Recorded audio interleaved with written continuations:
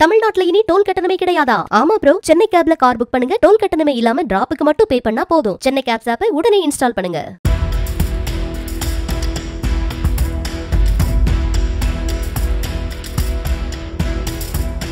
காரைக்குடியில் குழந்தைகள் கடத்தப்படுவதாக வாட்ஸ்அப் குழுக்களில் வதந்திகளை பரப்பிய புகாரில் ராஜா முகமது என்பவரை போலீசார் கைது செய்து சிறையில் அடைத்தனர்.